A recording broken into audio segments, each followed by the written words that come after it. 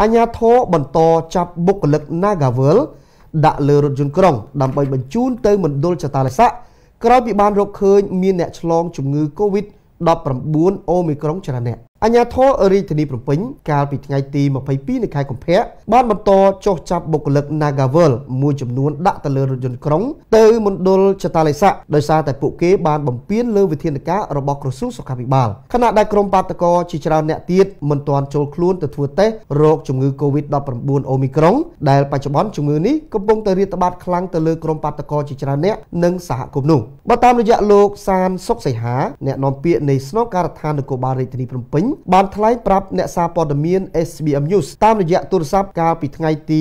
22នៃខែកុម្ភៈថាកាលពីម្សិលមិញគឺសមត្ថកិច្ចបានបញ្ជូនបុគ្គលិក Nagavel ចំនួន64នាក់ ដែលពួកគេបានជួបជុំខុសច្បាប់ផ្ទុយពីសេចក្តីណែនាំរបស់ក្រសួងសុខាភិបាលសាលារាជធានីភ្នំពេញខណៈដែលបុគ្គលិក Nagavel មួយចំនួនផ្ទុកជំងឺ Covid-19 ប្រភេទ Omicron ដែលប្រឈមខ្លាំងទៅលើអ្នកផ្សេងផ្សេងទៀតបាទជាមួយគ្នានេះដែរបើតាមលោកសានសុកសីហា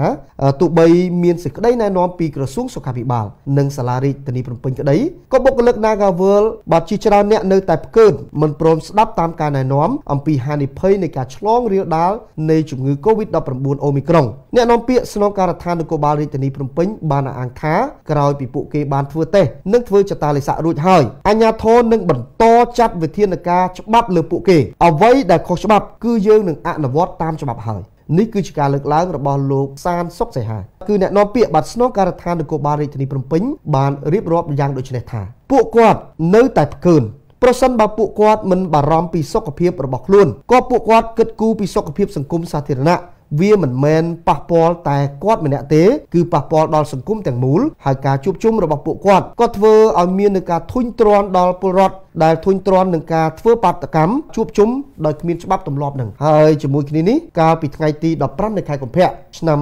2022នេះរដ្ឋបាលរាជធានីភ្នំពេញក៏បានចេញនូវសេចក្តីណែនាំស្តីពីការមិនអនុញ្ញាតឲ្យបុគ្គលិក Nagavel ធ្វើបាតកម្មនៅពេលដែលមិនទាន់មានវិធានការសុខាភិបាលដែលបញ្ជាក់ថាពួកគេទាំងនោះពុំមានវិជ្ជមាន COVID-19 ប្រភេទ Omicron និងតម្រូវឲ្យក្រុមបាតកោទាំងអស់ទៅយកសំណារោគ វីរុសបំលែងថ្មី បាទព្រមទាំងធ្វើនៅចតាលិស័កទៀតផងសូមបញ្ជាក់ថាកាលពីថ្ងៃទី16នៃបាទដល់ថ្ងៃទី20បាទកុម្ភៈក្រុមគ្រូពេទ្យបានយកសំណាក់លើកទី2ទៅលើក្រុមបាតកោចំនួន